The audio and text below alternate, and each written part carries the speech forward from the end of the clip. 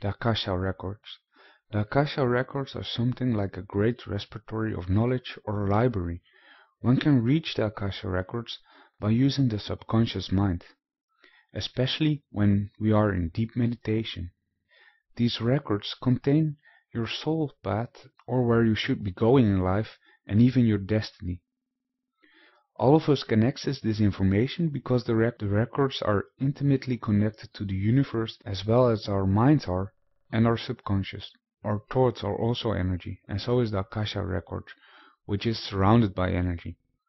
That energy can be found inside us, and when you find yourself in any kind of situation, look through this energy and go beyond your emotions, because this is where your conscious lays, and this is the path to the Akasha. The Akasha record lies within your subconscious, or you can reach it through your subconscious. The time just before awaking in the morning or the time just as you're falling asleep at night is a great time to program your mind to go and access the records. By accessing these records, you will find information on your soul's journey and mission and your purpose in life. Our past makes up who we are today and is necessary to understand your life's path, but it's dangerous for spiritual growth to become too emotionally attached to the past. We should be able to learn from the past and grow from it, but also to be able to let it go, especially the negative and hurtful pieces of the past. Yet, the past has direct bearing on the direction you are heading to in the future, and you will become aware of this as soon as you realize who you really are.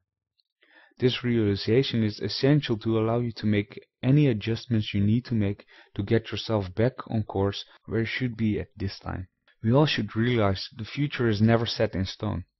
The more we can realize and deal with the past, the easier it will be to reinvent yourself into who you are in the present and who you can be in the future. Edgar Cayce, the American mystic, who had a really good ability to read the individual soul, often checked the Akasha records for information.